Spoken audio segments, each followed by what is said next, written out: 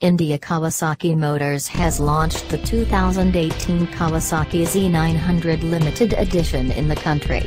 The changes are only visual and the mechanical bits of the bike is the same as the 2017 Z900. The 2018 Kawasaki Z900 Special Edition comes in metallic spark black color. Apart from the new color, the motorcycle also gets some graphical changes to make it more eye-catching.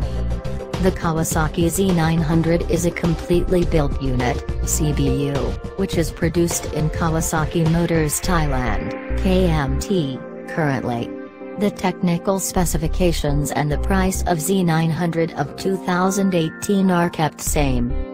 The motorcycle draws power from a 948cc inline-4 engine with liquid cooling and fuel injection. It develops 125 PS of power at 9,500 revolutions per minute and 98.6 newton meters of torque at 7,500 revolutions per minute. The engine pairs with a 6-speed transmission.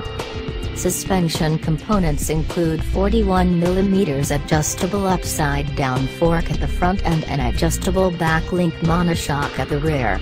Dual 300mm pedal discs at the front and a single 250mm pedal disc at the rear perform the anchoring duties. Based on the response from customers India Kawasaki Motors will evaluate the stock of the new color option. The other two colors green and black will continue to be available.